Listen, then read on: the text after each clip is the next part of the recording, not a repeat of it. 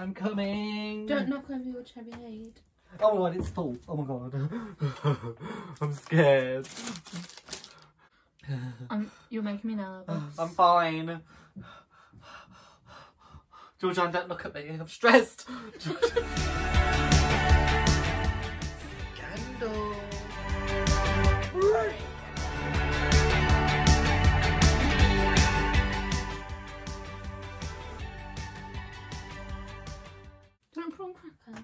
I'm gonna. Are they good? Mm. Mm. mm. I like them. Are they really an oily one? Oh, did you? I don't like the other one. I'm Dyl, And I'm Gee. and you better welcome back. To our YouTube channel. Where today We are eating food. and Playing a game. n joy. Joy. Was like, OP. what do you think about the letter N? Yeah. Open up. Breakups are important. Okay. Oh, that cherry. That's all we needed to know. Isn't it so refreshing? Ugh.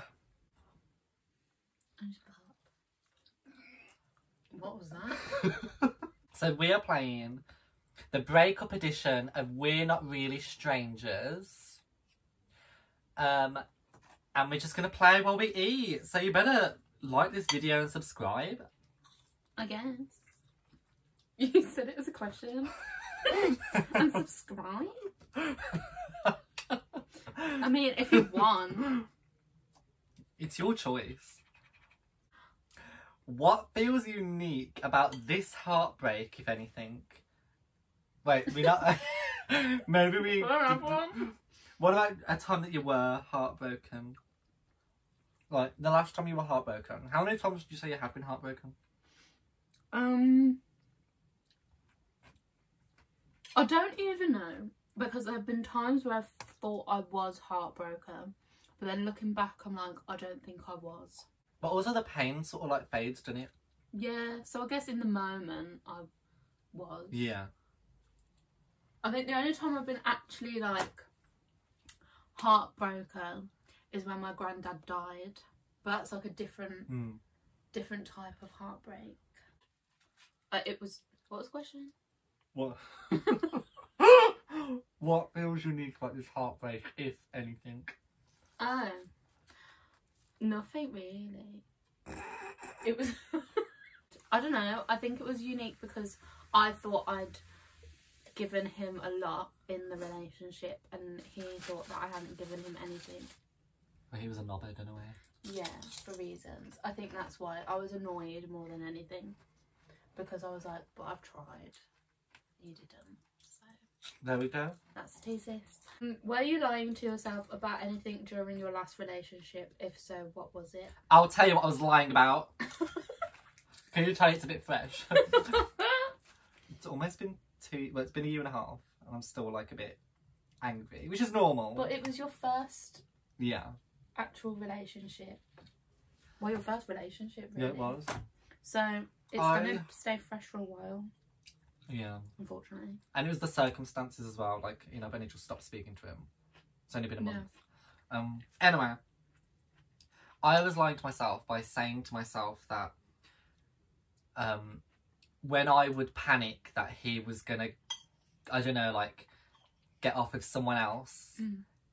who he actually did end up getting off with. Mhm. I'd say to myself that it was like a, oh, it's just like a, he wouldn't do it, but I don't trust her. But really, it was uh, I, I was like gaslighting myself because the distrust was coming from somewhere, and it was partly Mhm. my own insecurity at the time, but also it was like, I don't trust him, and I think I lied to myself about how much I trusted him.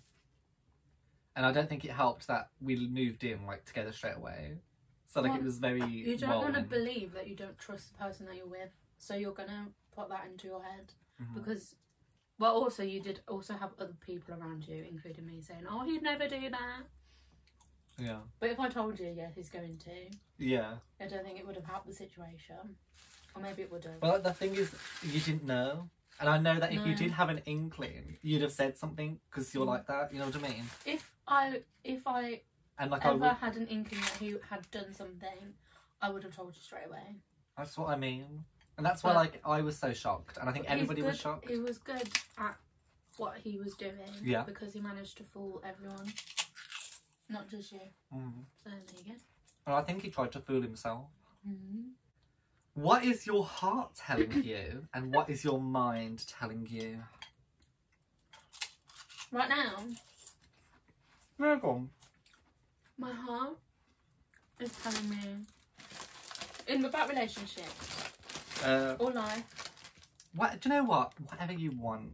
Whatever you want. My heart is telling me that um I'm content at the moment Oh. with how things are, Okay.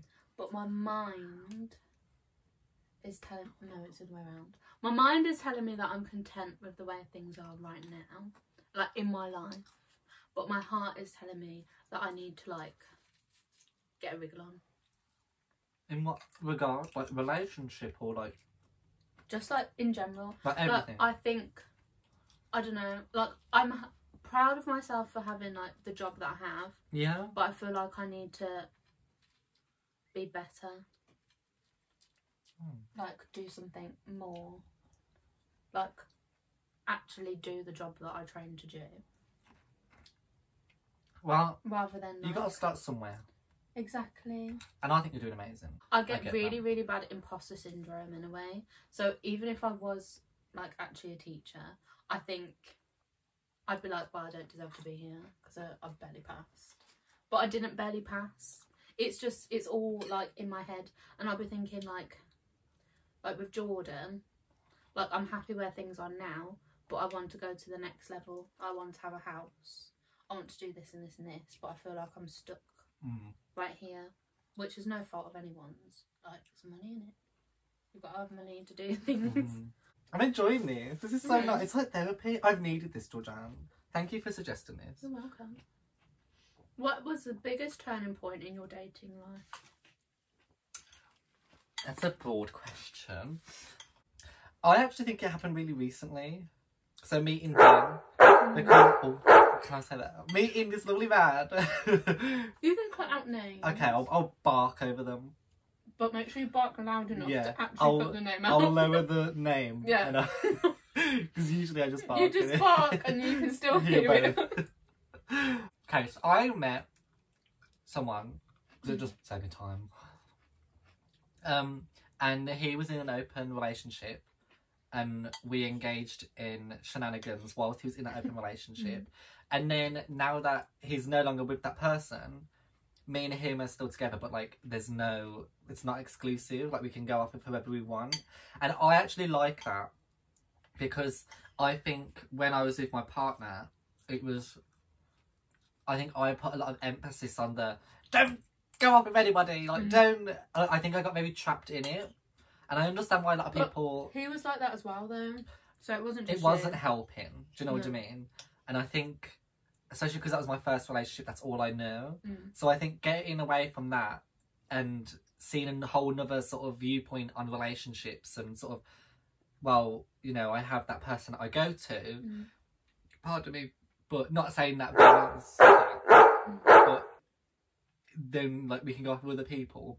It's very nice to know that you're in the comfort of that, and I quite like that because um, I was saying in the relationship, looking back on it, I think I felt a bit restricted because I don't know. It's a very weird one, but I think that's probably the turning point. Realizing that maybe monogamy isn't for me, Mm. and maybe having less emphasis on me and you. That's it forever.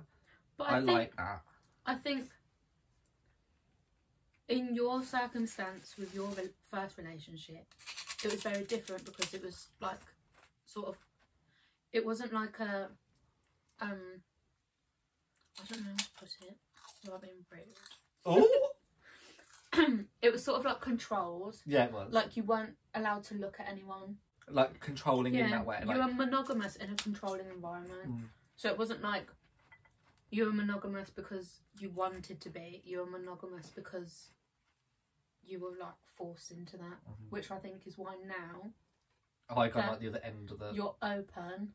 You're allowed that fluidity to do like what you want, me- experience different people, and maybe one day, if you did meet someone and you thought, I don't want to be, I don't want to get with anyone else, Yeah. and it'll be because you're not controlled into it.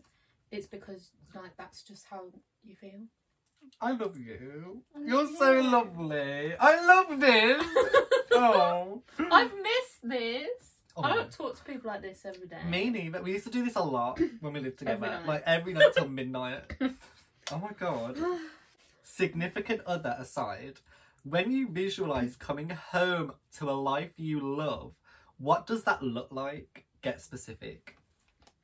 Oh, I nice love this question. question It's because I good think one. about this a lot. I got a knit. What's that? I've got a knit on my cup. gobble gobble, honey. Ew. Wait, what was it? Oh well, I've had it now. I'm a celeb. What wasn't it? I feel like it might have been Chip. I feel like it was a fly. Oh well. I just ate a fly. Uh, I want to be comfortable, financial wise. I don't want to be rich. I don't want to have too much of anything. Um, I just want to be able to not have to worry about where my next like mortgage payment is coming from. Only comfortable. I want to be comfortable. Um, I want to come home to a happy environment where the atmosphere when you walk into the house is a warm one and you want to stay.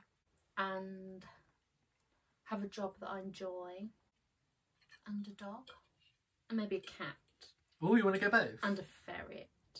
I really want a ferret called Alan. I love that. I've always wanted a ferret called Alan because when they run, it's really funny. They run in a hoop. Uh, they go like this and they run sideways. What ferrets? Yeah, you a Really? ferret run? It's so funny. But I think we should go Insta live.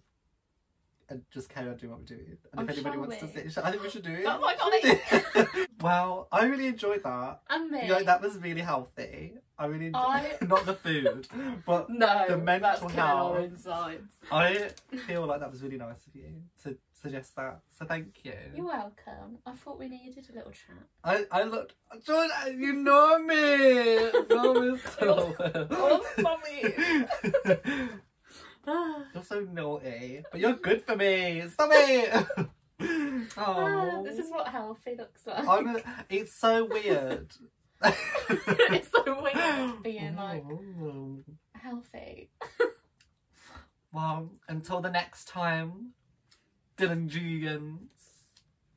Is that what they're called? I don't know. I don't know. We like a. Can we call them the adipose? Is that copyrighted? no, because adipose just means fat cell, so you can't actually copy. that. Oh, our little fat cells. Come on then, little adipose fat cells. Ah. Just because I looked behind you and I was like, they're cute. Yeah, And that's what I imagine our fans would look like. adipose. Uh, we are for an audience of adipose. we are. Until the next time, adipose, My little fat cells. oh, fuck. Bye.